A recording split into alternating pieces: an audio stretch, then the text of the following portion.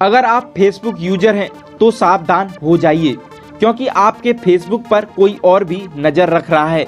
चाहे आपका कोई पर्सनल चैट हो या कोई फेसबुक पोस्ट आपके हर एक्टिविटी पर नज़र रखी जा रही है। हम ऐसा इसलिए कह रहे हैं, क्योंकि ब्रिटिश की कंपनी कैम्ब्रिज एनालिटिका के ऊपर आरोप लगा है कि अमेरिकन राष्ट्रपति डोनाल्ड ट्रंप को जिताने के लिए इस कंपनी ने अमेरिका के पाँच करोड़ यूज़र्स के डाटा की चोरी की। इसलिए इस वीडियो को अंत तक देखें, क्योंकि इस वीडियो में हम आपको यह बताएँगे कि आपके डाटा की चोरी कैसे होती है और आप अपने डाटा को कैसे सुरक्षित रख सकते हैं। कैसे होती है फेसबुक डाटा की चोरी? कनेक्ट विथ फेसबुक के अनुसार पचास हज़ार से ज़्यादा वेबसाइट फेसबुक के ज़रिए लॉगिन का ऑप्शन देते हैं। इसके अलावा कई ऐप्स पर भी आप फेसबुक के थ्रू लॉगिन कर सकते हैं। और जैसे ही आप इन ऐप्स पर फेसबुक के थ्रू लॉगिन करते हैं वैसे ही ऑटोमेटिकली फेसबुक आपकी जानकारी इन ऐप्स और वेबसाइट से साझा कर देता है।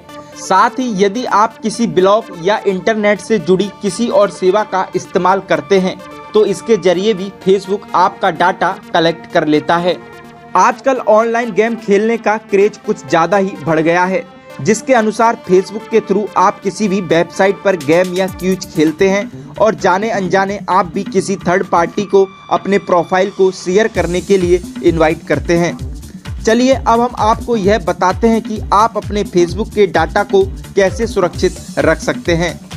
अपने फेसबुक के जर्नल सेटिंग में जाकर नाम date of birth family member आप ऑनलाइन है या नहीं, ऐसी जानकारियों को प्राइवेट रखिए।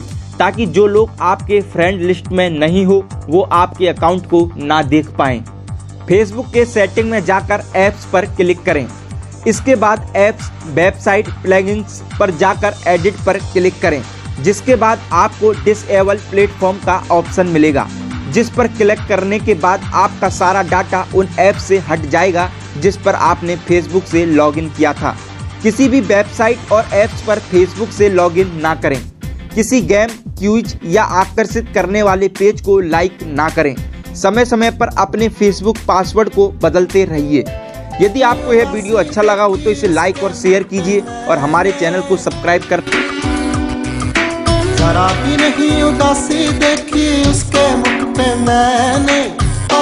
उसकी फ़ोटो देखी। फेसबुक पे फेसबुक पे